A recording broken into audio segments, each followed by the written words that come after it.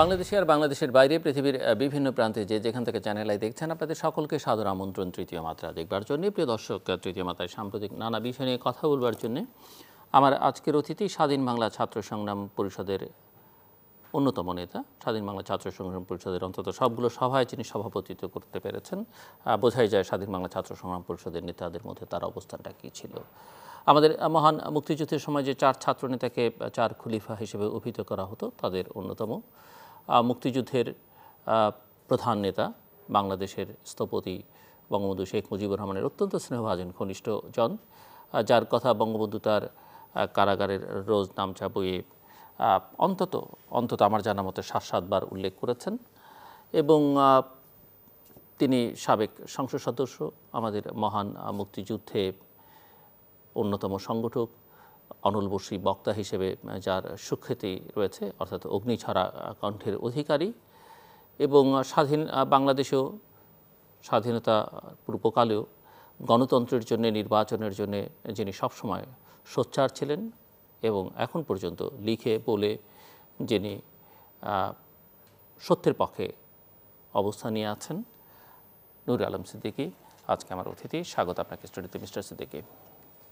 আপনি যে দলের সঙ্গে নিবিড়ভাবে যুক্ত ছিলেন, অন্তত একটা সময় পর্যন্ত তো বলতেই হবে বাংলাদেশ আওয়ামী লীগ যে দল বাংলাদেশের স্বাধীনতা সংগ্রামের নেতৃত্ব দিয়েছে এবং তখন আপনারা আওয়ামী লীগের, ছাত্রলীগের হয়ে গুরুত্বপূর্ণ দায়িত্ব পালন করছেন। সারা দেশ চষে বেরিয়েছেন মানুষকে সংগঠিত করেছেন, মুক্তিযুদ্ধ করেছেন, দেশ স্বাধীন করেছেন। সেই দল সত্তর বছর পার করল গত তেইশে জুন।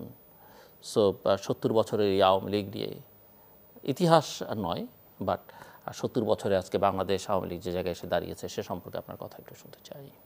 ধন্যবাদ আপনাকে। আমার বক্তব্যের প্রারম্ভে আমার চিরচারিত অভ্যেস অনুযায়ী আমি আমার উদ্বেলিত চিত্তের গভীর শ্রদ্ধা জ্ঞাপন করব। শুধু সত্তর বছরের আওয়ামী লীগের নেতাকর্মীদের জন্যই নয়, অবশ্যই তাদের প্রতি আমি শ্রদ্ধা এবং কৃতজ্ঞতা জানাব। কিন্তু তার সাথে সাথে যাদের বুক ও নিশ্চিত ভাব রক্তে বাংলার শ্যামল মাটি সিক্ত হয়ে পরাধীনতার বক্ষ বিদীর্ণ করে স্বাধীনতার সূর্যকে আমরা ছিনিয়ে আনতে পেরেছি, সেই সব শহীদদের তাদের পরিবারের প্রতি, তাদের আত্মত্যাগের প্রতি আমি আমার উদ্বেলিত হৃদয়ের বিদগ্ধ চিত্তের গভীর শ্রদ্ধা জ্ঞাপন করে আমার কথা শুরু করছি। আপনি আপনার উপস্থাপনায় বলেছেন, আওয়ামী লীগ তার সত্তর বছরের জীবন পেরিয়ে, রাজনৈতিক জীবন পেরিয়ে গেল। উনিশশো উনপঞ্চাশ সালের তেইশে জুন রোজ গার্ডেনে হোসেন সৈয়দ সরওয়ার্দের প্রণোদনায় তার নেতৃত্বে বাংলাদেশ আওয়ামী লীগ গণতন্ত্রকে উদ্ধার করার জন্য, গণতন্ত্রকে প্রতিষ্ঠিত করার জন্য পাকিস্তানের প্রশাসন এবং সরকারকে গণতান্ত্রিক পথে পথ পরিক্রমণে বাধ্য করার জন্য একটি রাজনৈতিক সংগঠনের জন্ম হয়েছিল যেটির নাম আপনি বললেন দেশবাসী জানে, আওয়ামী লীগ। অতএব আওয়ামী লীগকে গণতন্ত্রের প্রতিশব্দ বললেও ভুল হবে না। আওয়ামী লীগকে গণতন্ত্রের দিক ও নির্দেশক বললেও ভুল হবে না। হোসেন শহীদ সরার্দি এর প্রাণ পুরুষ ছিলেন। হোসেন শহীদ সরওয়ার্দির এটা তার মননে, তার মননশীলতায়, তার হৃদয়ে এই গণতান্ত্রিক চেতনাকে ধারণ করেই এই সংগঠনটির জন্ম দেন। এই সংগঠনটির সভাপতিত্ব, সভাপতি হন প্রথম মামান আব্দুল হামিদ খান বাসানি এবং সাধারণ সম্পাদক হন শামসুল হক সাহেব টাঙ্গাইয়ের শামসুল হক। বঙ্গবন্ধু ছিলেন এর যুগ্ম সম্পাদক। খন্দকার মুস্তাকও ছিলেন এটার যুগ্ম সম্পাদক। খনি মুস্তাক। এবং অভিহাত সাহেব ছিলেন এটার সাংগঠনিক সম্পাদক। আমি সংগঠনের অবয়বের অবকাঠামোর বিস্তারিত বর্ণনা এখানে যাব না। তবে একটি কথা নিঃশংস চিত্তে সত্যের খাতিরে এবং ঐতিহাসিক তথ্য হিসাবে নতুন প্রজন্মের কাছে আমি তুলে ধরতে চাই যে উনিশশো উনপঞ্চাশ সালের তেইশে জুন আওয়ামী লীগের জন্ম। কিন্তু এই গণতন্ত্রের জন্য, এই বাংলা ভাষার জন্য, এই বাঙালির অস্তিত্বের জন্য, এই বাঙালির রাজনৈতিক অধিকারের জন্য, এই বাঙালির রাজনৈতিক সত্তার জন্য এবং তার বিকাশের জন্য উনিশশো আটচল্লিশ সালে চৌঠা জানুয়ারি যে সংগঠনটির জন্ম হয়, তার নাম ছাত্রলীগ।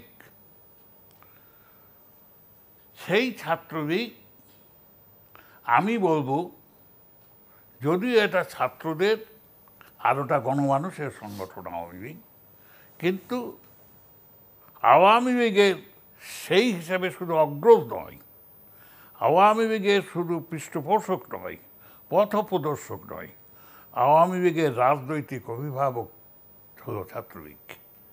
এটা একটু সময়ের ব্যবধানে বিষাদৃশ্য দেখালেও ঐতিহাসিক তথ্যে সত্য, এইটিই বাস্তব সত্য। ছাত্রলীগ, ভাষা আন্দোলনের নেতৃত্বদানকারী প্রতিষ্ঠান আগামী জাতীয় চেতনার উন্মেষক বাঙালি জাতীয় চেতনা তাকে লালন করে উনিশশো সত্তরের নির্বাচন এবং পরবর্তীকালে উনিশশো একাত্তর সালের মুক্তিযুদ্ধ, এই সবের পথ প্রদর্শক হল বাংলাদেশ ছাত্রলীগ, তার সাথে আওয়ামী লীগকে সম্পৃক্ত করে। হোসেন সাহেব সরার্দি আওয়ামী লীগের প্রতিষ্ঠাতা। কিন্তু পাঁচই ডিসেম্বর উনিশশো তেষট্টি সালে সুদূর বৈরতে গণতন্ত্রের মানুষপুত্র হোসেন সৈয়দ সরওয়ার্দি অকালে মৃত্যুবরণ করবেন বঙ্গবন্ধু তার প্রথম মৃত্যুবার্ষিকীতে বলেছিলেন আমাদের স্পষ্ট মনে আছে যে আমি যদি কোনোদিন সুযোগ পাই, আমার কাছে যদি কোনোদিন ক্ষমতা আসে, সেদিন আমি তদন্ত করে দেখে দেখে নেব। হোসেন শহীদ সরোয়ার দিয়ে বৈরুতে হোটেলে নিঃসঙ্গভাবে মৃত্যুবরণ করেছে না তাকে হত্যা করা হয়েছে। সেই তদন্ত বঙ্গবন্ধু ক্ষমতায় থাকাকালীন অবস্থায়ও কোনো দিন হয় নাই আজ পর্যন্ত হয় নাই। যাই হোক হোসেন শহীদ সরদ্দি আওয়ামী লীগের প্রতিষ্ঠাতা। কিন্তু এই আওয়ামী লীগটাকেই আওয়ামী লীগকে আওয়ামী লীগ করেছেন সাংগঠনিকভাবে মানে যে পরিচয় আওয়ামী লীগকে জনগণের সঙ্গে সম্পৃক্ত করেছেন জনগণের কাছে নিয়ে গেছেন মাটি ও মানুষের সংগঠনে রূপান্তরিত করেছেন। সেটি হোসেন শহীদ সরওয়ার্দিনী রাজনৈতিক ভাব শিষ্য বঙ্গবন্ধু শেখ মুজিবুর রহমান।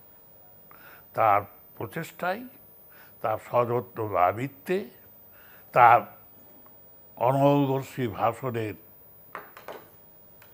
স্রোতধারায় সংগঠনটি মানুষের, গণমানুষের, বিশেষ করে বাঙালি জাতির মূল রাজনৈতিক সংগঠন ছিল।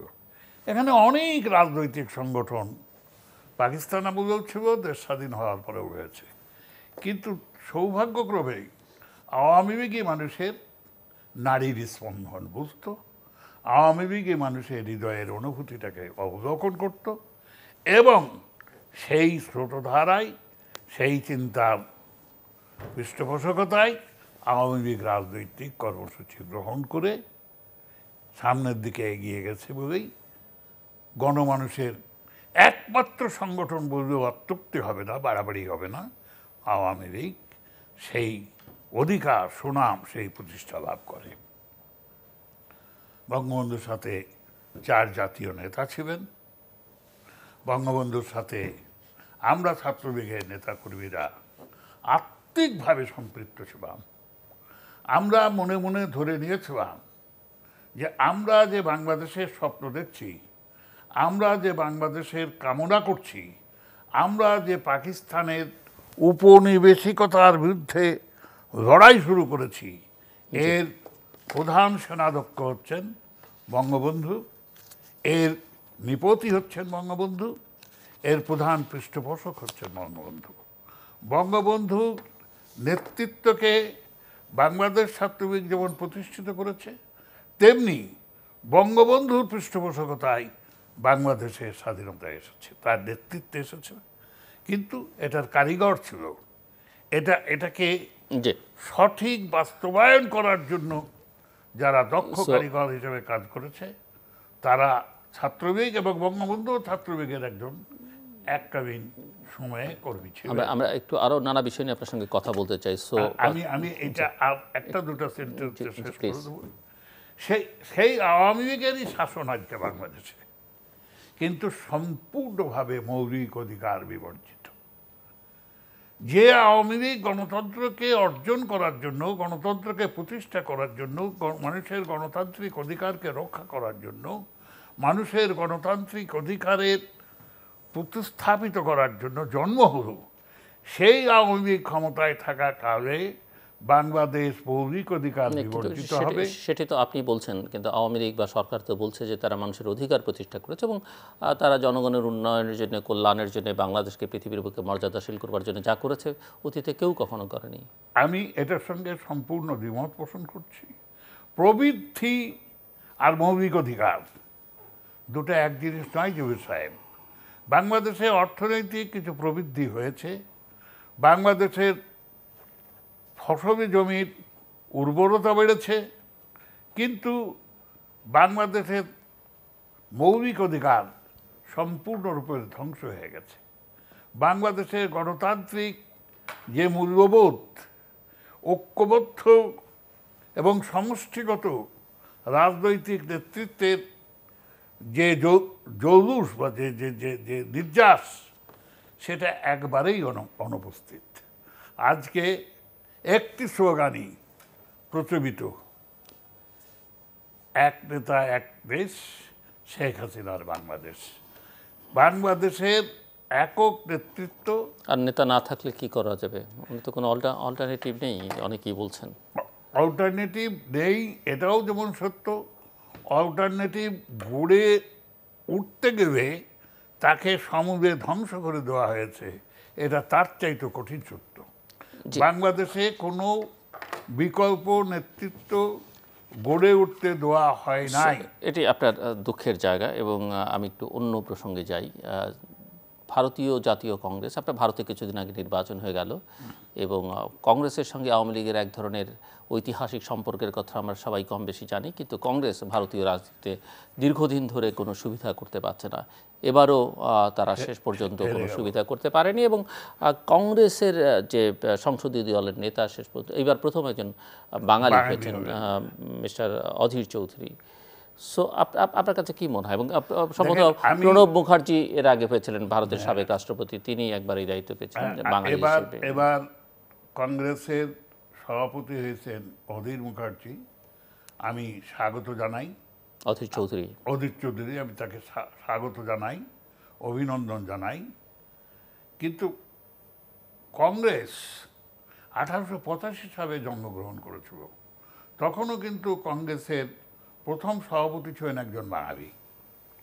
তা আমি আপনাকে যে জায়গাটায় আনতে চাইব, যে জায়গায় আপনার দৃষ্টি আকর্ষণ করতে চাইব, সেটা হচ্ছে বিগত ভারতীয় জাতীয় নির্বাচন। আমার কাছে খুব বেদনাহত আমার হৃদয়কে খুবই আহত করেছে, মর্মাহত করেছে। এটা ট্রেনটা ছিল কিন্তু সম্পূর্ণ সাম্প্রদায়িক।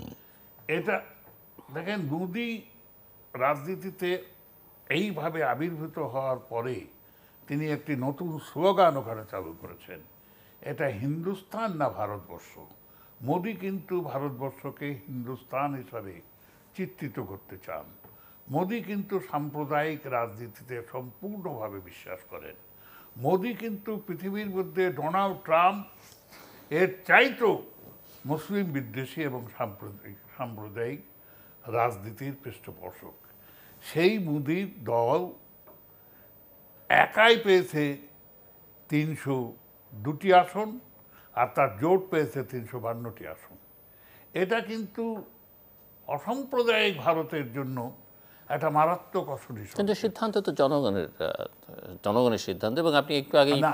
বাংলাদেশের প্রেক্ষিতে মানুষের অধিকারের কথা গণতন্ত্রের কথা বলছিলেন। মানুষ যদি সিদ্ধান্ত নেয় আপনার আমার আপত্তি এখানে কিন্তু আমার আমার আমার খুবই স্পষ্ট একটা অভিমত আছে। এর জন্য আমি নিবন্ধও রেখেছি প্রতি বাংলাদেশ প্রতিদিনে। এবং এটা আমার বিশ্বাসের আঙ্গিক থেকে বিদ্বেষের আঙ্গিক থেকে যে এবার ভারতের নির্বাচনে একটা মারাত্মক কারচুপি হয়েছে। একটা মারাত্মক কারচুপি হয়েছে। দেখেন, পশ্চিমবঙ্গের রাজনীতি সম্বন্ধে আপনিও আকেফাল পশ্চিমবঙ্গের রাজনীতিতে প্রশ্ন হবে, তৃণমূল না কংগ্রেস? তৃণমূল কংগ্রেস না কংগ্রেস? এই দিয়ে প্রতিদ্বন্দ্বিতা হবে। এবং বিগত নির্বাচনেও বিজেপির আসন ছিল ওখানে মাত্র দুটি। বিয়াল্লিশটি আসনের মধ্যে। এবারের নির্বাচনে তারা আসন পেয়েছে ষোলোটি। তা এই যে ষোলোটি আসন, এটাকে আমাকে বিস্মিত করে নাই। আমাকে সন্দেহের সন্দেহের বেড়া যাবে আবদ্ধ করেছে। এই ষোলোটি আসন পশ্চিমবঙ্গে, যেখানে মুসলমানদের ভোটার শতকরা তেত্রিশ ভাগ, চৌত্রিশ ভাগ সেখান থেকে স্বাভাবিকভাবে কারচুপি না করলে ভোট জালিয়াতি না করলে ভোট ডাকাতি না করলে আসার কোনো না কিন্তু আপনি পশ্চিমবঙ্গের কথা বলছেন আমরা ভারতের অন্যান্য রাজ্য যেখানে মুসলমানদের একটা ভালো শক্তি আছে সেখানেও দেখা গেছে যে মুসলিম ভোটাররাও বিজেপি বিজেপিকে ভোট দিয়েছে কোনো কোনো জায়গায়। সেটি ভোটের ফলাফল বিশ্লেষণে দেখা গেছে। ভোটের ফলাফল শুনেন গুজরাটের যে দাঙ্গা হয়েছে জি। মোদি সেখান থেকেই তো বেরিয়ে আসবেন ওখানে ওখানে উনি তখন মুখ্যমন্ত্রী। এটা আমি আপনাকে কোনো রকমে প্রভাবান্বিত করার জন্য বলছি না। এটা ঐতিহাসিক সত্য। ভারতের বহু বিখ্যাত পত্রিকায় বারবার এটা প্রতিফলিত হয়েছে লেখা হয়েছে যে মোদি সেই সাম্প্রদায়িক দাঙ্গায় সশরীরে যুদ্ধাপরাধীদের মতো। ওরা যেমন মুক্তিযুদ্ধের সপক্ষে শক্তিকে সশরীরে হত্যা করেছে মোদিও তেমনি ওখানে।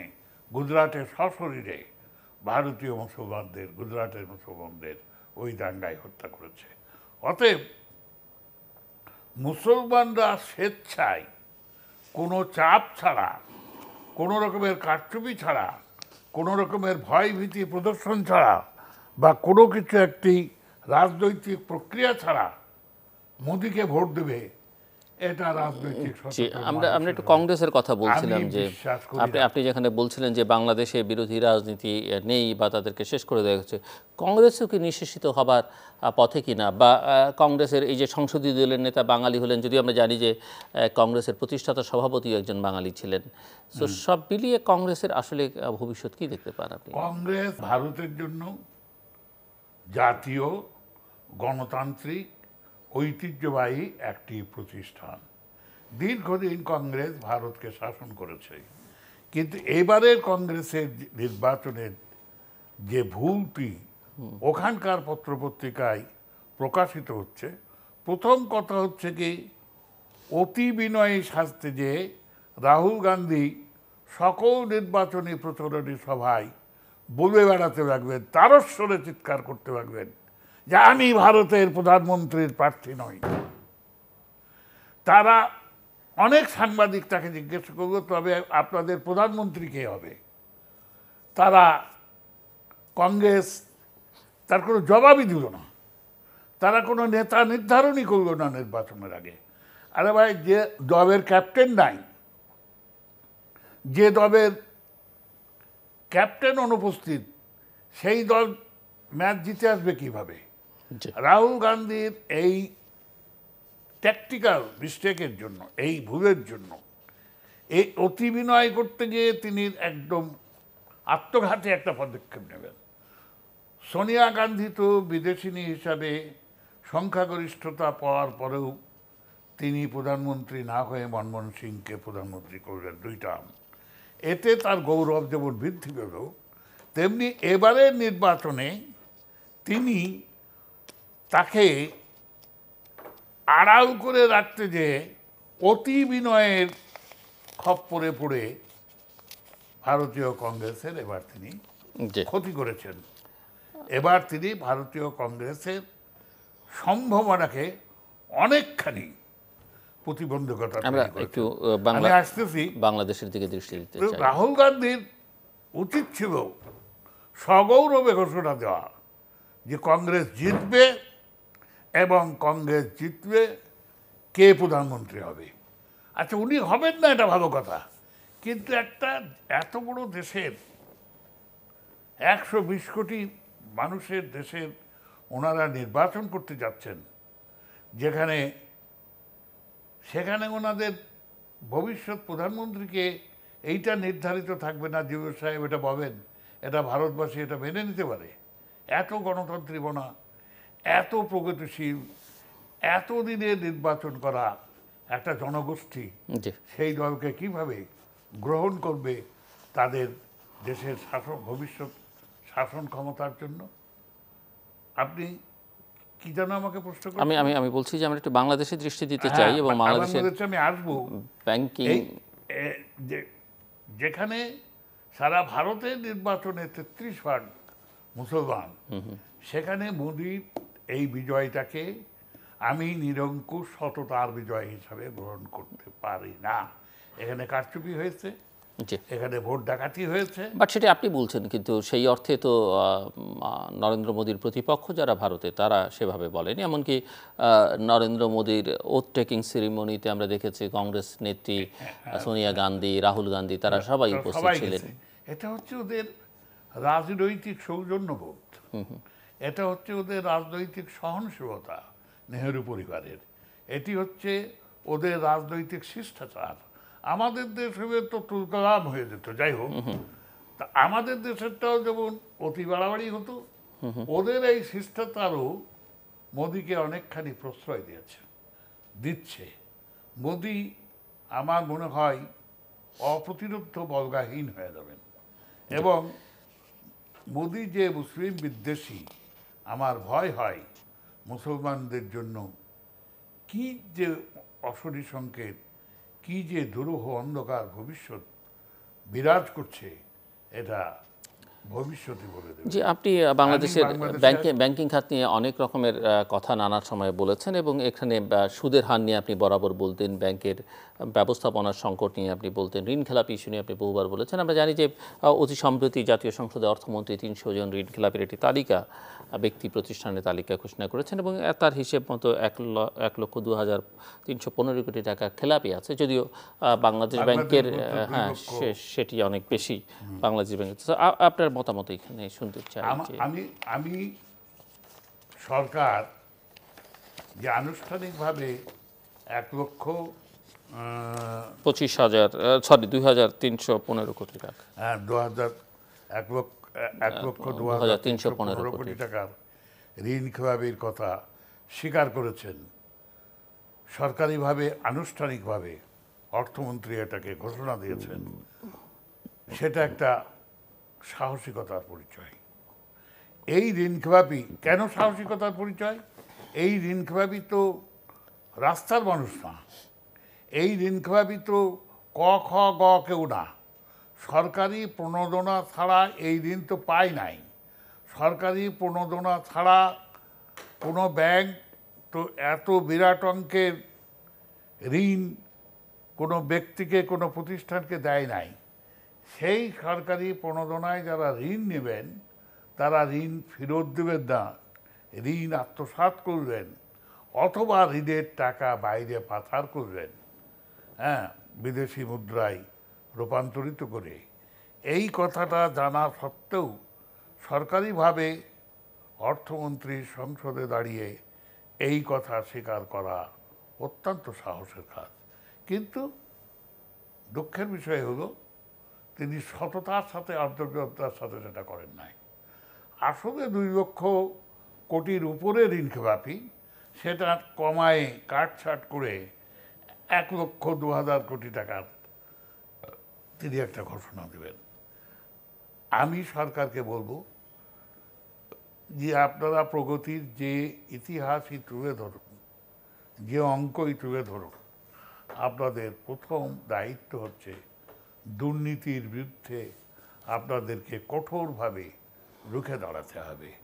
দুর্নীতির বিরুদ্ধে আপনাদের অন্ধ হতে হবে। সে যেই হোক না কেন প্রধানমন্ত্রীর সন্তানও যদি দুর্নীতিগ্রস্ত হয় প্রধানমন্ত্রীকে নির্বিচারে অন্ধের মতো তার সঠিক তথ্য উদ্ঘাটন করে তার বিচার করতে হবে। না সেটি তো দেশে কেউই আইনের ঊর্ধ্বে নন সেটি করতে হবে। করতে হবে। এই- যে- আমি এই যে খালেদা জিয়ার খালেদা জিয়ার বিরুদ্ধে যে মামলাগুলো হচ্ছে এইটা নিয়ে বিএনপির কথা হচ্ছে যে না খালেদা জিয়ার বিরুদ্ধে মামলা হতে পারে না। আরে কেন হতে পারে না? অবশ্যই হতে পারে যদি? দুর্নীতির প্রমাণ হয় মামলা হওয়া তো বরং ভালো। দুর্নীতি প্রমাণ হলে তিনি শাস্তি ভোগ করবেন। দুর্নীতি প্রমাণ না হবে তার জনপ্রিয়তা অনেক বেড়ে যাবে। যে আওয়ামী লীগ অনেক চেষ্টা করেও তাকে দুর্নীতিগ্রস্ত প্রমাণ করতে ব্যর্থ হয়েছে। আপনি কি নিশ্চয়ই আপনার মনে আছে? আমরা যখন ছাত্রদেরতে ছিলাম, আমাদের বিরুদ্ধে রাজনৈতিক মামলা হতে পারত। আপনি বিশ্বাস করেন, চুরি, ডাকাতি, রাহাজানি একমাত্র ধর্ষণ ছাড়া রেপ কেস ছাড়া। আমি ব্যক্তিগত নরেন্দ্র দিকে এমন কোনো মামলা নাই যেটার আসামি ছিলাম না। তাতে কি হয়েছে? একটাতে তো শাস্তি দিতে পারে নাই। আমি অন্তত পাঁচ সাতটা খনি কেসের আসামি ছিলাম। কিন্তু তার মধ্যে একটাতে তো প্রায় জেল হয় হয় অবস্থা। টাকা টাকের কি যেন ট্যাকের হাট মার্ডার কেস। ওই যে রথখোয়ার কাছে একটা জায়গায় একটা মার্ডার হলো যেহেতু আমি রথখোয়ায় এসআর হয়ে থাকতাম আমাকে এক নম্বর আসামি করে মামলা ঠুকে দিল। হ্যাঁ তা কিন্তু আল্লাহ সহায় ছিলেন জনগণ পক্ষে ছিল মানুষ এর বিরুদ্ধে। আমাকে নিয়ে যখন জগন্নাথ কলেজের কাছে কোটোয়াবি থানায় নিয়ে যে এই মার্ডার কেসে আটকাবো। আপনি বিশ্বাস করেন, তৎকালীন সময়ের বিশ হাজার লোক থানা ঘেরাও করে আমাকে ছোটাই নিয়ে আসব। সরকার আর সাহস পেল না এটা নিয়ে প্রসিড করতে। তা জি। আমি একটু এই ঋণ খেলাপি বা ব্যাংকিং খাতের সূত্র ধরেই দু হাজার উনিশ দু বিশ অর্থ বছরের প্রস্তাবিত বাজেট নিয়ে, কারণ আপনি একজন রাজনীতিকই শুধু নন, আপনি লেখালেখি করেন, আপনি একজন দেশের স্বনামধন্য শিল্পপতি, আপনি পুঁজিবাজারের সঙ্গে যুক্ত ছিলেন এবং সেখানকার চেয়ারম্যানের দায়িত্ব পালন করেছেন, আপনি ঢাকা স্টক এক্সচেঞ্জের সব মিলিয়ে একটু আপনার কাছ থেকে শুনতে চাই যে এই প্রস্তাবিত বাজেটটি কেমন হলো? কারণ বাজেট আর মাত্র কয়েকদিনের মধ্যেই অনুমোদিত হবে সংযোজন বিয়োজন সহ যদি আপনার কোনো সুনির্দিষ্ট মতামত থাকে। না না এই বাজেট অনেকখানি স্বপ্নগ্রাসী এই বাজেট কল্পনাপ্রসূত। দেশের প্রাক্তন অর্থমন্ত্রীরা এমনকি আওয়ামী লীগের অর্থমন্ত্রীরাও বলতেছেন এই বাজেট কার্যকারী করা, এই বাজেট বাস্তবায়ন করা সরকারের পক্ষে খুবই দুরূহ হবে। বাংলাদেশ ব্যাংকের প্রাক্তন গভর্নর দ্বয় বাংলাদেশ এই সরকারের প্রাক্তন অর্থমন্ত্রী দ্বয় তারা এই বাজেটকে স্বপ্নবিলাসী বলছেন। এই বাজেট বাস্তবায়নের খুবই কঠিন হবে কথা বলছেন। আমি আমার আপনার টকশোতে আগেও কয়েকবার বলেছি যে পদ্মা সেতু নিয়ে একটা ব্যক্তিগত জেদাজেদি না আমরা পারি, আরে ভাই পারি তো বটে, আমি তো বিষও খেতে পারি, আমি যদি বলি জিন্দুর আমি বিষ খেতে পারি, এটা কোনো গৌরবের কথা না তো। হ্যাঁ তা এই পদ্মা সেতু যেভাবে হচ্ছিল, বা এক দেড় পার্সেন্ট বা point seven percent point zero seven percent সুদে যদি এটা হতো, এটা ভায়াবল ছিল। কিন্তু এখন এই দেশীয় অর্থনীতি আজ পর্যন্ত প্রধানমন্ত্রীর বারবার ঘোষণা সত্ত্বেও ওয়ান জিডি অর্থাৎ নাইন পার্সেন্টে আনতে পারবেন না। প্রধানমন্ত্রী নিজেই পারবেন না। এত শক্তিশালী প্রধানমন্ত্রী। তিনি পারবেন না। তা সেই দেশের সমস্ত অর্থনীতিটাকে বিকলঙ্গ করে ভঙ্গুর করে অর্থনৈতিক বাজারটাকে একদম ক্র্যাশ করে দিয়ে পদ্মা সেতু করার এই উদ্যোগের আমি নিন্দা করি। এখন আপনি আপনি কি মনে করছেন যে শুধু পদ্মা সেতু করবার কারণেই এটি হচ্ছে? মানে অনেক টাকা অনেকভাবে অপচয় হচ্ছে। আপনি স্টক এক্সচেঞ্জের দিকে তাকিয়ে দেখেন কোনোভাবেই স্টক এক্সচেঞ্জটাকে স্থিতিশীল করা যাচ্ছে না। কোনোভাবেই স্টক এক্সচেঞ্জ মানে সেটা কেন করা যাচ্ছে না বলে কি মনে হয় এই যে অস্থিরতা মানুষের মধ্যে এই যে একটা অনিশ্চয়তা এই যে স্থিতিশীলতার অভাব আমি তো স্টক এক্সচেঞ্জের চেয়ারম্যান ছিলাম দীর্ঘদিন। মানুষের স্টক এক্সচেঞ্জটা হচ্ছে ব্যারোমিটার মানুষের অর্থনৈতিক মিজাজের এটা হচ্ছে ব্যারোমিটার তা এখন কিছু লোক গ্যামলিং করছেন। একটা দুটা কোটারিও রয়েছে। আমি আপনার দৃষ্টি আকর্ষণ করছি। আমি শুনছি আপনার কথা। হয়তো কোটারিও দু একটা আছে। কিন্তু মূল জিনিসটা যেটা স্টক এক্সচেঞ্জের নিয়ামক শক্তি যেটা সেটা হচ্ছে স্টক এক্সচেঞ্জের প্রতি বাজার অর্থনীতির প্রতি স্থিতিশীল অর্থনীতির প্রতি তারপরে আপনার ইন্ডাস্ট্রিয়াল অর্থনীতির প্রতি মানুষের একটা আস্থা ফিরায় আনতে হবে। মানুষের একটা বিশ্বাস ফিরায় আনতে হবে। মানুষকে বুঝতে দিতে হবে যে সব কিছুর পেছনে একটা মজবুত অর্থনৈতিক ভিত্তি আছে এবং সরকারের একটা অর্থনৈতিক অবকাঠামো এত শক্তিশালী যে কোনো কিছুকেই ধ্বংস হতে দেবে না। লাল বাতি জ্বলতে দেবে না। এই আস্থাটা মানুষের মধ্যে ফেরত আসবে তখনই স্টক এক্সচেঞ্জও স্থিতিশীল হবে দেশের অর্থনৈতিক বিনির্মাণও নিশ্চিত হবে মানুষের লগ্নিও সুনিশ্চিত হবে। এখন মানুষ যদি মনে করে যে সরকার আজকে যে কথা বলছে কালকেই তার একটা উল্টা সিদ্ধান্ত আসবে। তাহলে তো মানুষ সততার সাথে অকুত ভয়ে বিনিয়োগের জন্য এগিয়ে আসবে না। আসতে পারে না। সে সে যদি বুঝে যে তার তার যে পুঁজিটা তার বিনিয়োগটা নিরাপদ নয়। নিরাপদ নয়। তাইলে তো সে টাকা বিদেশে সরাই রাখবে ভোগ করুক আর না করুক মনের একটা শান্তি থাকবে যে আমার এত টাকা আছে অমুক ব্যাংকে আমার আছে।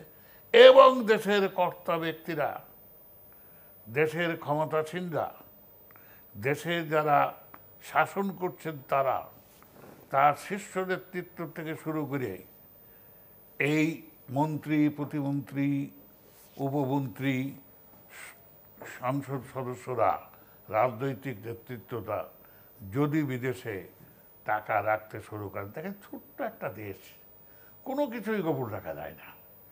তাই তো অন্যরা মনে করে, আরে বাইরে ভাই, উনি এত কোটি টাকা বাইরে রাখছে আমার জোটটুক আছে এটাও আমি নিরাপদে রাখি। সেই প্রতিযোগিতাই তো বাংলাদেশে চলছে। আজকে বাংলাদেশে সাধারণ মানুষের কাছে একটা বিরাট প্রশ্ন কে বড় দুর্নীতিপরায়ণ? এখন নেতৃত্বের প্রতিযোগিতা ওই জায়গায় যে কার কাছে কত বেশি টাকা আছে? যে আমরা একটু অর্থনীতি থেকে রাজনীতিতে যাই এবং এখানটাতে যে প্রশ্ন আমরা নির্বাচন নানা বিষয় নিয়ে রাজনীতি নিয়ে নানা রকমের প্রশ্ন আছে। আমরা এক ধরনের স্থিতিশীলতাও দেখতে পাচ্ছি। সংসদের অনেক প্রশ্ন তুলেও বিরোধী দল সংসদে আছে এখন। সব মিলিয়ে আপনার কাছে কী মনে হচ্ছে? আমার কাছে মনে হয় যে বাংলাদেশে বিরোধী দল একটা টোটাল ফার্স মানে দেখেন জাতীয় পার্টি? ফার্স আচ্ছা বিরোধী দল বলতে কোনটাকে মিনি করছে? মানে বিএনপি পাবেন আচ্ছা আচ্ছা। আর ডক্টর কামাল হোসেনের নেতৃত্বে যে জোট গঠিত হয়েছে এটাই পাবেন। It is a total farce and farm কারণ বেগম খালেদা জিয়া নির্বাচনে যাবেন না ঘোষণা দেবেন। আপনার নিশ্চয়ই মনে আছে ছিয়াশি সালের নির্বাচনে বেগম খালেদা জিয়া না গিয়ে বয়কট করে, বর্জন করে মানে বাংলাদেশে একটা অত্যন্ত গৌরবজনক অবস্থানে চলে গেলেন। কিন্তু সব সময় তো একই স্টাইলে খেলা যায় না রে ভাই। উনি এইবারে নির্বাচন বর্জন করে, বিশেষ করে গত নির্বাচনে আওয়ামী লীগ যে একক সংখ্যাগরিষ্ঠতা পেয়ে একা মাঠে খেলল। এই ছাড়টা দিয়ে বিগত নির্বাচনে ওটা কি চোদ্দ সালে না ষোলো সালে চোদ্দ সালে। চোদ্দ সালে নির্বাচনে বিএনপি বর্জন করে একটা ভুল করেছে একটা বিরাট ভুল করেছে। তা সেই ভুলের দেখেন মানুষ কিন্তু রায় দেয়। মানুষ কিন্তু সঠিক প্রশ্নে সঠিক সময়ে মাথা উঁচু করে দাঁড়ায়। আমার ঝিনাইদহ দুই আসনের কথা বিএনপি সিরিয়াস ছিল না। আওয়ামী লীগের নৌকার বিরুদ্ধে আমার জ্যেষ্ঠ পুত্র রাজীব আলম সিদ্দিকী আনারস নিয়ে দু হাজার চোদ্দ সালে। দু হাজার চোদ্দ সালে আনারস নিয়ে নৌকাকে পরাজিত করছে বিপুল ভোটে। কারণ মানুষ অতিষ্ঠ। কিন্তু তাজিব সিদ্দিকি তো এবার সেই নৌকা নিয়েই হ্যাঁ তাকে নির্বাচিত হলেন হ্যাঁ, তাকে যখন বলল সরকারের সরকার প্রধান। সরকার প্রধান তো আবার তার ফুপু। তো তো ওনার বাপের দিকে তাকাইলাম। হ্যাঁ ক্ষমতা এবং প্রধানমন্ত্রীর স্নেহ আদর আদরে সে বিমুগ্ধ হয়ে ফুপুর আদর তো একটি স্পেশাল আদর থাকেই। হ্যাঁ? ফুপুদের আদর তো একটি স্পেশাল আদর হয়। হয়। সে বিগলিত চিত্তে কৃতজ্ঞ হয়ে আওয়ামী লীগে ঢুকে গেল। তা আমার কথা হচ্ছে কি যে আওয়ামী লীগে সে তো আপনি আপনি তো আওয়ামী লীগ ছেড়ে দেননি যাই নাই। হ্যাঁ? সেই জায়গায় তো মানে আপনিও ছেড়ে দেননি আওয়ামী লীগ আওয়ামী লীগ আপনাকে আনুষ্ঠানিকভাবে কি ছেড়ে দিয়েছে? না। তাহলে আর- I am I am by birth Awami League. তাহলে আর দোষ করল কি? তাজিব আমার তো আমার ঠিকই বাবাও তো আওয়ামী লীগ করেছেন। জি। আমার বাবা আমি আমি আপনাকে একটা ছোট্ট কৌতুক বলি। যখন জেনেদার থেকে যখন কলকাতায় যেতেন হোটেল সে- সে প্রি পার্টিশন আমাদের কথা বলছি। তখন ওই মর্তমান কলা আমাদের এই বাগানের বিরাট বিরাট কাঁঠাল। সারদ্দি সাহেব এর জন্য সারদ্দি সাহেবের প্রচণ্ড ভক্ত ছিলেন আমার আব্বা। তা নিয়ে যেতেন। তা আমি তখন ধরেন তিন, চার বছরের। আমার বাবা না কত, সাতচল্লিশ সালে কত, এখন তিপ্পান্ন আর উনিশ, কত হয়? তেপ্পান্ন আর উনিশ, ষাট, সত্তর। যাই হোক। বাহাত্তর। যদি এখন আমার বয়স ধরেন বাহাত্তর বছর। না না আশি বছর ধরেন তখন আমি সাত আট বছর সাত আট বছর তা আমার বাবাকে নিয়ে যেতেন। তা বলে যে স্যার এবার আপনার জন্য একটা জীবন্ত উপহার আনছি। আপনি একটু দোয়া করে দেন। তা আমাকে ওনার উনি সবাই বসাচ্ছিলেন কাছে নিয়ে দাঁড় করাইবে। বসো বসো, আমার পাশে বসো। ওই টান দিয়ে নিয়ে উনি বসাবেন। আমার তো হাঁটু কাঁপা শুরু। তখন সাত আট বছর হলেও বুঝতাম হোয়াট ইজ হোসেন শেষরটি তো উনি আমার মাথায় হাত দিয়ে দোয়া করলেন। ওই দোয়া করলেন, এক হিসাবে আমার কবাল পুড়ে গেল। অন্যায়ের সঙ্গে, গণতন্ত্রের বিরোধিতার সঙ্গে, স্বৈরাচারিতার সঙ্গে, আপোষ করার সমস্ত কলা কৌশল আমার চিন্তা চেতনা মনন মনন সব থেকে বিভক্ত হয়ে আপনি যেখানে ছিলেন হ্যাঁ? আপনি যেখানে ছিলেন এর আগে আমরা তাজিব সিদ্দিকির কথা বা ঝিনাইদের নির্বাচনের কথা বা বিএনপির কথা আলোচনা করছিলেন। না চলে গেল। তা আমি বলতেছি যে আমি আজন্ম আমেরিকার আমার সন্তানও তো আমেরিকার হুম। আমরা কখনো কোনো অবস্থায় আওয়ামী লীগের বাইরে আমার পরিবারের কোনো সদস্যই রাজনীতি করে নাই। আব্বা করে নাই, আমি করি নাই, আমার ছেলেও করে নাই, বা করতে পারবে না, করা সম্ভব না। তা আমার ছেলে এবং আমরা বিগত নির্বাচনে দেখিয়েছি যে আওয়ামী লীগের প্রার্থীকেও স্বতন্ত্র প্রার্থী হিসাবে আমরা পরাজিত করতে পেরেছি ইনশাআল্লাহ। কিন্তু আপনি বিশ্বাস করেন জিবুর এইটা নিয়ে আমার খোঁচাখুচি করবে আমি কোনো জবাব দেবো প্রকাশ্য আপনাদের বলছে আপনাকে আমি জবাব দেবো। আমি এবারও যদি নৌকা নিয়ে আমি খোঁচাখুচি করিনি। আপনি যেহেতু দুই হাজার চোদ্দ সালে পরাজয়ের কথা বলেছেন সে কারণে বললাম যে শুনুন। জি এবারও যদি আমি এই মানে আওয়ামী লীগের অনন্য সাধারণ বিজয়ের এই নির্বাচনেও যদি আমি দাঁড়াতাম আমার সন্তান না দাঁড়ায় আমি হেরে যেতাম।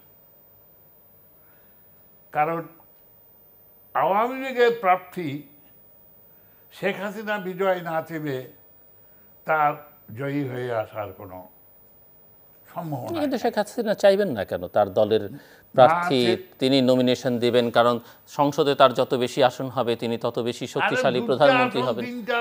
দলের দলের নেত্রী আসন পাই নাই। সেখানে আর একটা আসন পাবে না তিনটা। তাতে তার কি কি যায় যাই হোক আমরা আবার আবার সমুদ্রের থেকে যদি এই কাপ দিয়ে আপনি একটু পানি উঠান জি। সমুদ্রের ঢেউয়েরও কোনো পরিবর্তন হবে না স্রোতধারারও কোনো পরিবর্তন হবে না গতিও অবরুদ্ধ হবে না। এই জিনিসটা আপনি তো আমার থেকে ভালো বুঝেন জিবু সাহেব। আপনার রাজনৈতিক আমি তো আপনাদের থেকে শুনে শুনে বোঝার চেষ্টা করি আমি নিজে তেমন কিছু বুঝি না এত বিজ্ঞজনের কথা শুনেন যে এই মূর্খের চাইতে আপনার ওই ওই ওই শ্রুতি জ্ঞান মানে এত নানান মতের কথা শুনি যে আমি মাঝে মাঝে কনফিউজড হয়ে যাই।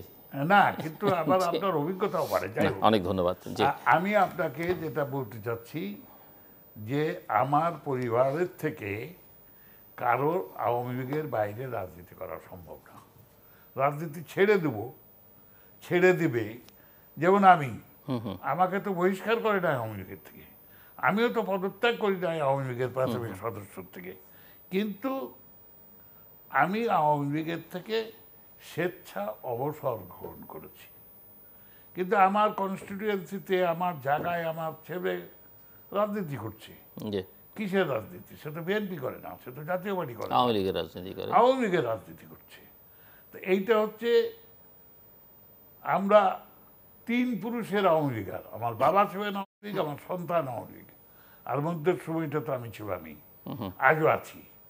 আমি শেখ হাসিনার সমালোচনা করি শেখ হাসিনাকে ক্ষমতাচ্যুত করার জন্য নয় খালেদাকে ক্ষমতাসীন করার জন্য নয় আওয়ামী লীগ যেন কক্ষচ্যুত না হয় আওয়ামী লীগ যেন আদর্শচ্যুত না হয় আওয়ামী লীগ যে এখন স্বৈরা স্বৈরাচারী আর স্বেচ্ছাচারিতার পথ ধরেছে এখান থেকে সরিয়ে এনে আওয়ামী লীগের মূল নীতি গণতান্ত্রিক পথে পরিচালিত হোক, এই আকাঙ্ক্ষাকে লালন করি বলেই আওয়ামী লীগের সমালোচনা করি। আমি জানি বাংলাদেশের জনগণের মধ্যে প্রায় যারা আওয়ামী লীগকে সমর্থন করে, তাদের পঁচানব্বই ভাগ লোক বিশ্বাস করে সত্যিকারের আওয়ামী লীগের শুভাকাঙ্ক্ষী আমি। আমি চাই আওয়ামী লীগ সঠিক পথে চলুক। আমি চাই, কারণ বিএনপি তো একটা গণতান্ত্রিক রাজনৈতিক প্রতিষ্ঠান নয়। জাতীয় পার্টিও একটা গণতান্ত্রিক রাজনৈতিক প্রতিষ্ঠান নয়। আপনার অনুষ্ঠান থেকে আমি বহুবার বলেছি, ক্যান্টনমেন্টের গর্ভে স্বৈরাচারের ঔরসে ক্ষমতাসীন অবস্থায় ওই দুটি দলের জন্ম হয়েছে। কিন্তু আওয়ামী লীগ সংগ্রাম করে, আওয়ামী লীগ দীর্ঘ পথ পরিক্রমণ করে আওয়ামী লীগ আন্দোলন করে, হোসেন শহীদ সরোয়ার্দির নেতৃত্বে আওয়ামী লীগের জন্ম, সেই আওয়ামী লীগ বাংলাদেশের সংগঠক, বাংলাদেশের স্বপ্নদ্রষ্টা, বাঙালি জাতির পিতা শেখ মুজিবুর রহমানের এবং তার সহকর্মীদের। সেই শামসুল হক সাহেব বলেন, সেই আপনার নজরুল ইসলাম সাহেব ক্যাপ্টেন মনসুর আলী কামরুজ্জামান সাহেব তাজউদ্দিন সাহেব বলেন আওয়ামী লীগের এক গুচ্ছ প্রবীণ নেতৃত্বের সহযোগিতায় সহমর্মিতায় একসঙ্গে কাজ করে বঙ্গবন্ধু বাংলাদেশটি অর্জন করেছেন। দেখেন এখানে আপনার একটা জায়গায় আমি বিনীতভাবে দৃষ্টি আকর্ষণ করব। কিছুদিন আগে সিরাজুল খান নিউক্লিয়াসের একটা তথ্য হাজির করে উনি প্রমাণ করতে চাইবেন ছাত্রলীগও না আওয়ামী না নিউক্লিয়াস আর বঙ্গবন্ধু, এই দুটার যৌথ পরিকল্পনায় বাংলাদেশের উদ্ভব, তার বিজয়, তার উত্থান এবং তার সফলতা। তোবাই সাহেবকে আমি ধন্যবাদ জানাই। আমার বন্ধু মানুষ, তিনি যথাসময়ে তার একটা উত্তর দিয়েছেন। আমি এখানে সিরাজ ভাইকে বলি, উনি আমার নেতা, আমি ওনাকে শ্রদ্ধা করি। কিন্তু ওনার সবচেয়ে বড় অসুবিধা হচ্ছে উনি নিয়মিস্ট নৈরাজ্যবাদী। উনি নিজেই জানেন না উনি কি চান। উনি নিজেই জানেন না ওনার গন্তব্যস্থল কোথায়। উনি নিজেই জানেন না ওনার দৃষ্টি কোথায় নিবদ্ধ। উনি যখন এখন উনি আলিবদ্দির বাংলা চান, বাংলা, বিহার, উড়িষ্যা নিয়ে একটা বাংলাদেশ হবে। তো এই যে কল্পনা বিভাসী একটা রাজনৈতিক চিন্তা। আরে ভাই, communist cannot be a nationalist তাই সে হিটলার হয়ে গেল, নাৎসি হয়ে গেল। কমিউনিস্টের কোনো সীমানা নাই। The proletariat has no boundary কোনো একটা নির্দিষ্ট দেশটাই, আপনি খেয়াল করে দেখবেন কমিউনিস্ট পার্টির নাম হচ্ছে বাংলাদেশের কমিউনিস্ট পার্টি। মানে ও ওরা ওরা হচ্ছে a branch of communist party in Bangladesh আপনাকে কি আমি বুঝাতে পারছি? আর সিরাজবাবু খান শুধু আনা একজন বাঙালি জাতীয় চেতনায় বিশ্বাসী। তবে ওনারা একটি অতি বিপ্লবী। বিগত সত্তরের নির্বাচনের আগে আপনার নিশ্চয়ই মনে আছে যে ওনারা বললেন যে ভোটের বাক্সে বাতিবারও বাংলাদেশ স্বাধীন করো নির্বাচন নির্বাচন বর্জন বর্জন। নির্বাচনের কথা বলে যারা ইয়া খানের দালাল তারা। কি আপনি দ্বিমত পোষণ করেন। আর আমি বললাম যে একটা ম্যান্ডেট দরকার। বাংলাদেশের কে নেতা? মুনায়ম খান বলবে আমি নেতা নুরুল আমিন বলবে আমি নেতা ফজলুল কাদের চৌধুরী বলবে আমি নেতা মাহমুদ আবি বলবে আমি নেতা সবুর খান সাহেব বলবেন আমি নেতা। বাংলাদেশের নেতাকে আমরা সেইটা নির্ধারণ করতে চাই। মুসলিমদের দুদুবিহার কনস্টিটিউয়েন্সিতে যে বললাম যে ওনাদের এই যে খেলাফাত আন্দোলনের প্রতি আমি সালাম জানাই। ওনাদের অবদান, ওনাদের পরিবারের অবদান, এই উপ, উপমহাদেশের মুসলমানদের জন্য একটা মহা গৌরবের বিষয়। কিন্তু এইবারের নির্বাচনটি হচ্ছে বাঙালির অস্তিত্বের প্রশ্ন, বাঙালির বাঁচা মরার প্রশ্ন। আপনাদের কাছে ভিক্ষা চেয়ে গেলাম, এই অস্তিত্বের প্রশ্নে দুলু মিয়া সাহেবের পরিবারকেও আপনারা জানায় দেন অস্তিত্বের প্রশ্নে বাঙালি এক এবং অভিন্ন। আল্লাহ পাকের অশেষ রহমত আপনি বিশ্বাস করেন? রাজনীতিতে কসমের কোনো দাম নাই। তবু আমি কসম খেয়ে বলতে পারি, বঙ্গবন্ধু চান নাই পীর মুসলিউদ্দিন দুদু মিয়া ওই নির্বাচনে হেরে যাক। তিনি চার পাঁচটা আসন আমাকে ডেকে বলছেন, আবার এইসব জায়গায় ডিস্টার্ব করিস না। কি? তার মধ্যে যে কোনো কারণে হোক সবুর খান সাহেবের আসনটাও ছিল। উনি সবুর ভাই সবুর ভাই বলতেন। একসঙ্গে রাজনীতি করেছেন রাজনৈতিক সৌহার্দ্য সম্পর্ক। হ্যাঁ তখন ছিল। উনি শাহ আজিজুর রহমান সাহেবের বাসায় আমার দিয়ে টাকা পাঠাচ্ছেন যাই হোক আমি কথা প্রসঙ্গে প্রতিপক্ষের প্রতি একটা শ্রদ্ধাবোধ হ্যাঁ, এটা গণতান্ত্রিক আমরা। সেবা বলাও আমাদের কথা থেকে একটারও বাস শুনব না। তা যাই হোক আমাদের মানে ছাত্রদের আমাদের মানে ছাত্র আর যে উদাহরণগুলো আপনি বললেন সেই কারণেই তো বঙ্গবন্ধু বঙ্গবন্ধু হতে পেরেছেন। কোনটা? মানে যে উদাহরণগুলো আপনি বঙ্গবন্ধু শেখ মুজিব সম্পর্কে বললেন আমি বললাম যে সেসব কারণেই তিনি অত বড় মাপের নেতা হতে পেরেছেন। পেরেছেন। কারণ তার মনে অন্যদের প্রতি একটা সহমর্মিতা ছিল। আমাদের যে আমরা যে বেয়াদব ছিলাম তা নয়। আমাদের কথা হয়েছে যে এইবারের নৌকাকে সাফল্যের সৈকতে দিতে হলে কোনো ছাড় দেওয়া যাবে না। কোনো জায়গায় কারও কোনো আসুক নৌকায় চড়ুক আমরা গুণ টেনে নিয়ে যাব। জি আমরা একটু শেষের দিকে চলে এসেছি আলোচনাটা শেষ করে আনতে আপনাকে। আমরা আমরা যদি ওই সময় বিশ পঁচিশটা আসন ছেড়ে দিতাম জি। তাইলে তো আমরা এইভাবে নিরঙ্কুশ সংখ্যাগরিষ্ঠতার যে শক্তি অর্জন করে মুক্তিযুদ্ধে পর্যন্ত সেই সময়ের তরুণ দীপ্ত প্রাণকে উজ্জীবিত করলাম। নিয়ে গেলাম নিরস্ত্র বাঙালিকে পৃথিবীর মধ্যে সশস্ত্র এবং সুশৃঙ্খল বাহিনীর মোকাবেলা করার মতো শক্তি যোগালাম জিউ সাহেব, সেটা তো হতো না। সেটা তো সম্ভব হতো না।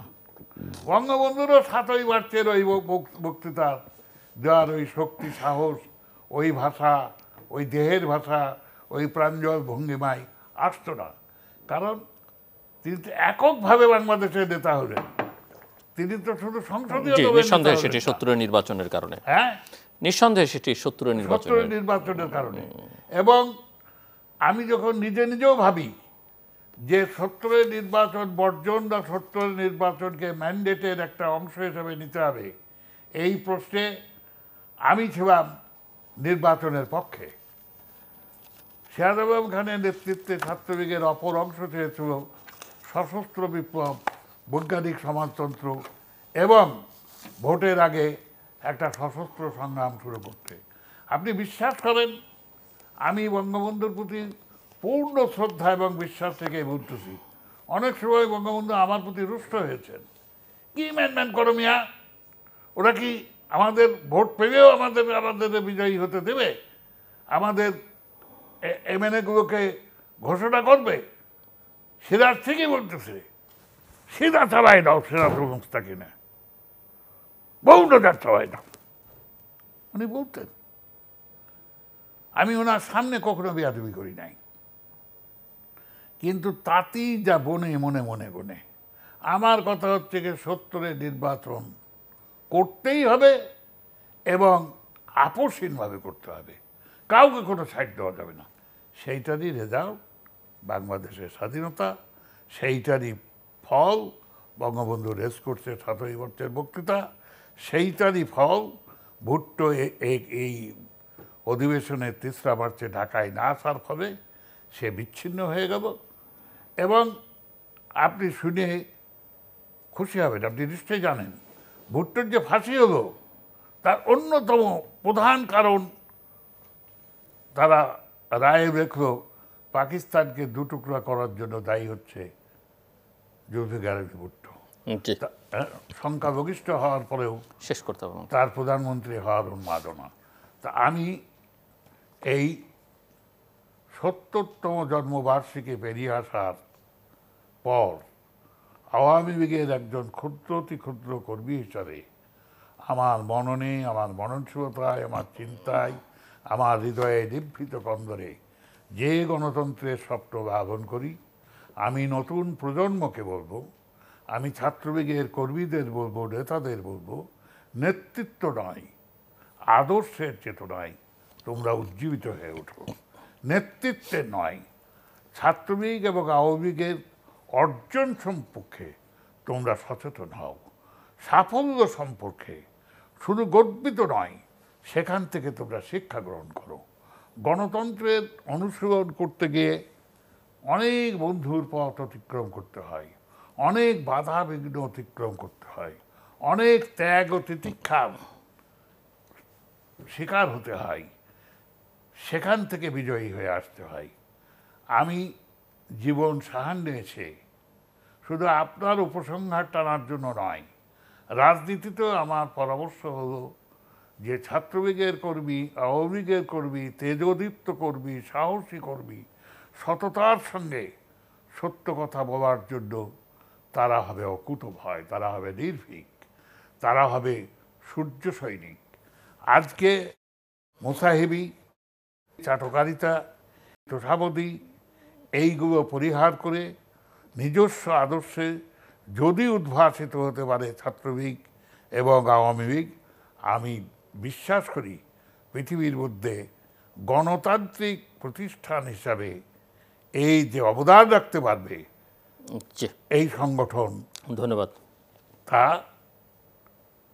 অত্যন্ত ভাষ্য অত্যন্ত প্রজ্জ্বল অত্যন্ত দৃষ্টান্তমূলক হিসাবে ইতিহাসে তার স্থান অতীতেও রেখেছে। ইনশাল্লাহ ভবিষ্যতেও ধন্যবাদ আল্লাহ আমাদের তৌফিক দান করুন আল্লাহ আমাদেরকে সাহসী বানান আল্লাহ আমাদের সত্যনিষ্ঠ রাখুন আল্লাহ আমাদের গণতান্ত্রিক পথে হাঁটবার তৌফিক দান করুন। ধন্যবাদ মিস্টার নুরুল আলম সিদ্দিকী। দর্শক কথা বলছিলেন স্বাধীন বাংলা ছাত্র সংগ্রাম পরিষদ নেতা নুর আলম সিদ্দিকী। নানা বিষয় নিয়ে কথা বলেছেন তিনি তার সংগঠন বাংলাদেশ আওয়ামী লীগের সত্তরতম প্রতিষ্ঠাবার্ষিকী নিয়ে কথা বলেছেন। তিনি কথা বলেছেন বাংলাদেশ, ভারতের নির্বাচন, রাজনীতি নিয়ে, বাংলাদেশের ব্যাংকিং ব্যবস্থাপনা নিয়ে বাংলাদেশের পুঁজিবাজার নিয়ে এবং সামগ্রিকভাবে আর্থিক খাত এবং তার সংগঠন, প্রাণপ্রিয় সংগঠন বাংলাদেশ ছাত্রলীগ নিয়েও তিনি কথা বলেছেন। সব কথা ঘুরে ফিরে একটা জায়গায় এসে দাঁড়ায়, সেটি হচ্ছে গণতন্ত্র, সুশাসন, সুব্যবস্থাপনা, এগুলো নিশ্চিত করতে হবে। এগুলোর ঘাটতি বাংলাদেশের বিভিন্ন ক্ষেত্রে আছে, বিভিন্ন প্রতিষ্ঠানে আছে, সংগঠনে আছে, সব জায়গায় এই দুর্বলতাগুলো কাটিয়ে উঠতে হবে বাংলাদেশকে এবং সেটি যদি করা যায়, তাহলেই আসলে যে আকাঙ্ক্ষা নিয়ে বাংলাদেশের জন্ম হয়েছে যে আকাঙ্ক্ষার ধারণ করে বঙ্গবন্ধু শেখ মুজিবুর রহমান এই দেশটিকে স্বাধীনতা এনে দিয়েছেন, নেতৃত্ব দিয়েছেন স্বাধীনতার জন্য, সেই আকাঙ্ক্ষা পূরিত হবে। দর্শক, আমাদের সঙ্গে থাকবার জন্য অসংখ্য ধন্যবাদ। আপনাদের সবার জন্য শুভকামনা।